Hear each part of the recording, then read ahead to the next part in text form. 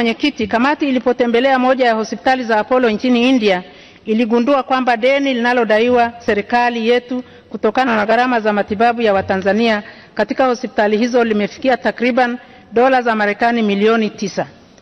Kamati inashauri serikali kuweka utaratibu wa kulipa deni hilo ili kutokiuka mkataba wa makubaliano baina ya serikali na hospitali za Apollo wa kuhudumia wagonjwa wa Tanzania. Hitimisho. Mheshimiwa Mwenyekiti, ninapenda kushukuru kwa mara nyingine kwa kunipa nafasi hii ili niweze kuwasilisha taarifa ya kamati na pia niwashukuru wajumbe wa kamati ya kudumu ya Bunge ya huduma za jamii kwa ushirikiano wao katika utekelezaji wa majukumu ya kamati na hasa wakati wa kuandaa taarifa hii. Mheshimiwa Mwenyekiti, kwa niaba ya kamati nawapongeza Waziri wa Afya wa Ustawi wa Jamii Dr. Seif Suleiman Rashid Mbunge na Naibu Waziri Kebwe Stephen Kebwe Mbunge kwa ushirikiano wao mkubwa kwa kamati katika kipindi chote hiki. Napenda nimshukuru Katibu wa Bunge Dr. Thomas Kashilila kwa kuratibu vyema shughuli za kamati.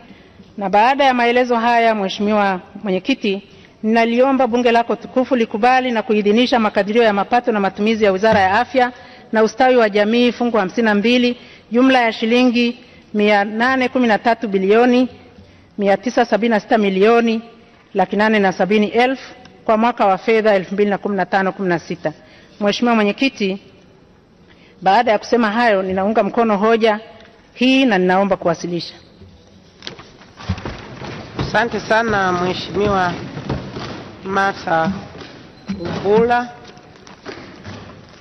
Sasa namwita msemaji mkuu wa kambi rasmi ya upinzani bungeni kuhusu Wizara ya Afya na Ustawi wa Jamii, Mheshimiwa Dr. Anton Gervas Mbassa.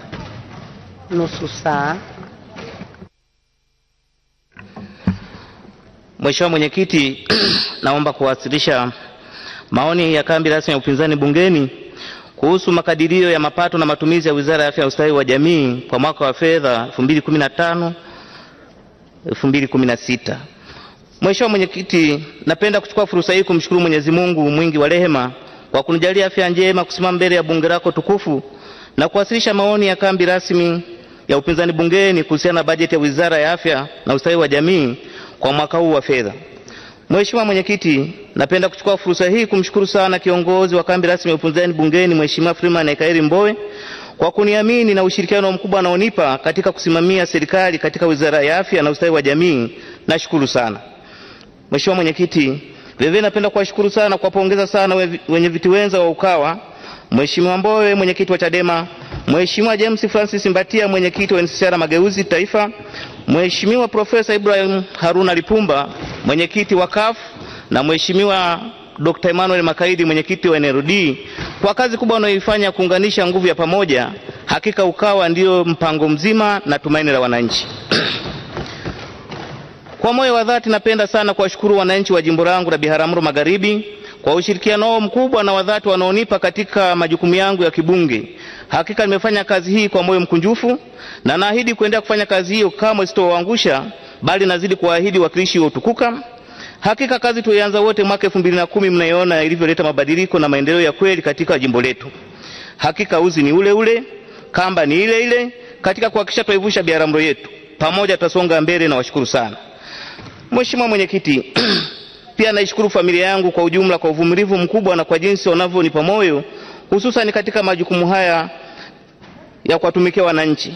Mke wangu Benedikta Justiniani, watoto wangu Tekla Mbasa, Bernard Mbasa na Beata Mbasa, nasema asanteni sana na mzidi kunivumilia.